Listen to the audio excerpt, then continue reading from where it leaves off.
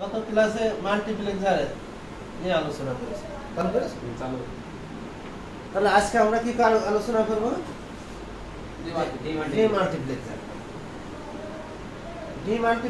হচ্ছে মাল্টিপ্লেক্সারের রোলটা তার মানে সেই একই কথা।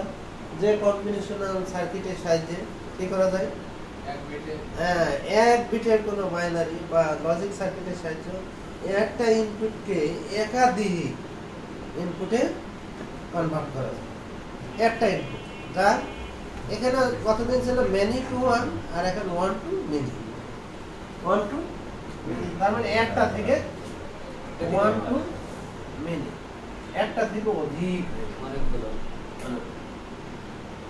এখন এইদিকে ওয়ান টাইম একটা, এই ডি মার্কসের আমরা একটা ব্লক ডায়াগ্রাম এই সিলেক্টর এগুলো সব সিলেক্ট ডট দাঁড়িয়ে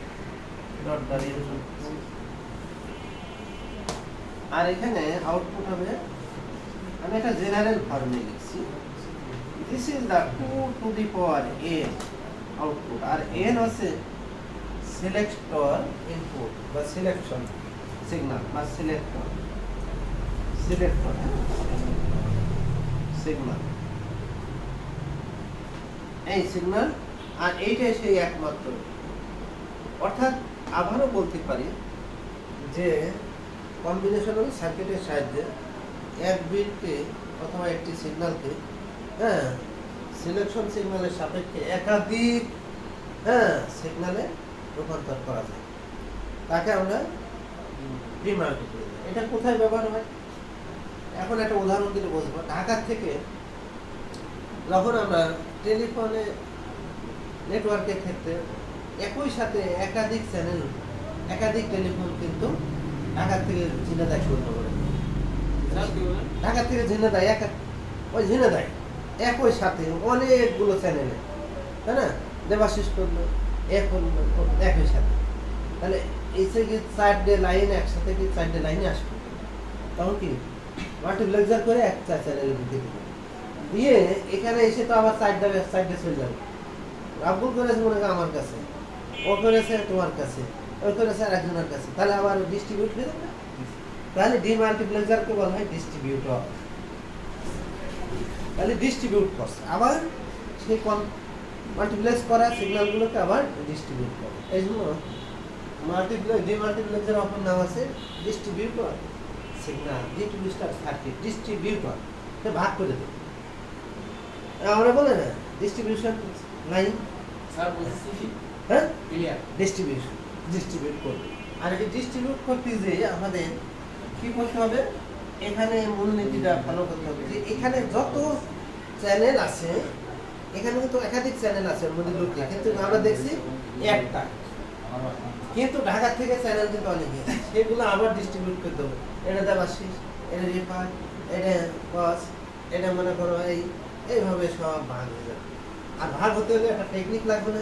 সেই টেকনিকটা হচ্ছে আমি একটা ইনপুট দেবো সেখানে আমার সিলেকশন সিগনাল থাকতে হবে। সিলেকশন সিগনালে নির্ভর করবে যে দেবাশিস কখন পাবে।